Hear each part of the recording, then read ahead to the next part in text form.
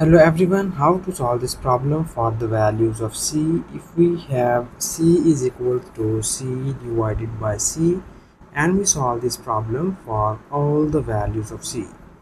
So here first we find all the roots of this equation and at the last we will be verify that which of the roots are solution of this equation and which of the roots are extraneous root.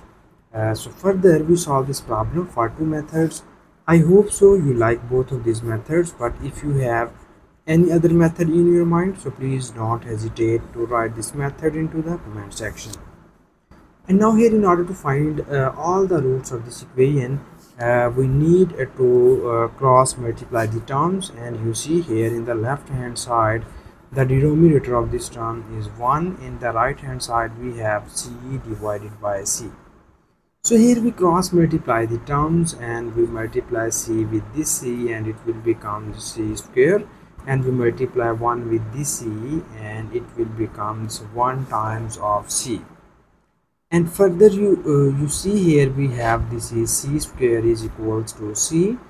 Uh, and now uh, we move this c in the left hand side.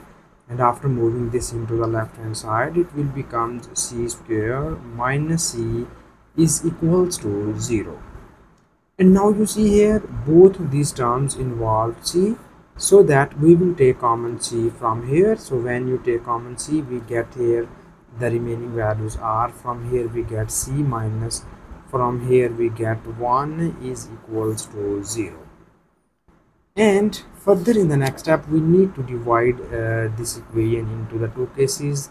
The first case is we write c is equals to 0 and the second case is we write c minus 1 is equals to 0. So further you see here uh, we have this is c is equals to 0. This is the first root and from here we get c is equals to plus 1 and this is the our second root of the given equation.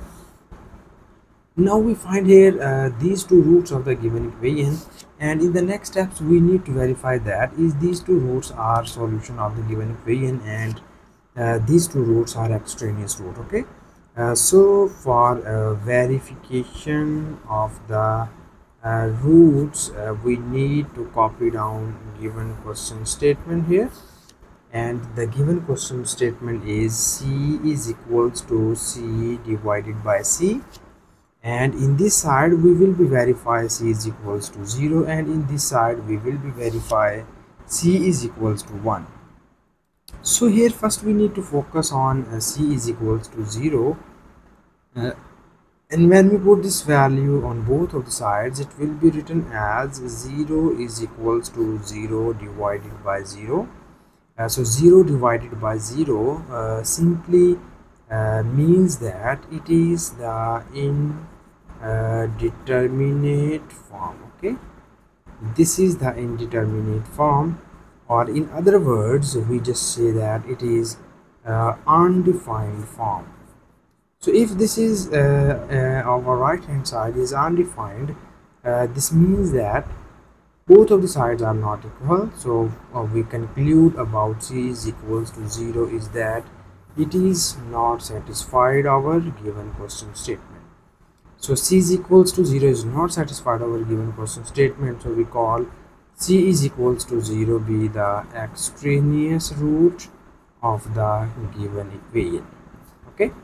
So c is equals to 0 be the extraneous root and now here we will verify our second root. So we put c is equals to 1 on both of the sides of this equation and after substituting this it will be written as 1 is equals to 1 divided by 1 and here you see that 1 is equals to 1 so you see here clearly the value of c is equals to 1 is satisfied our given question statement.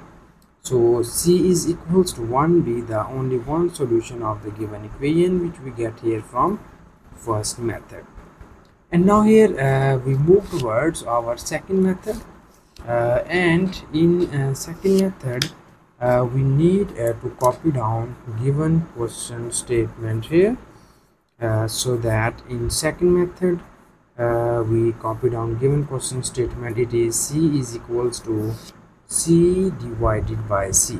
So this is our given question statement.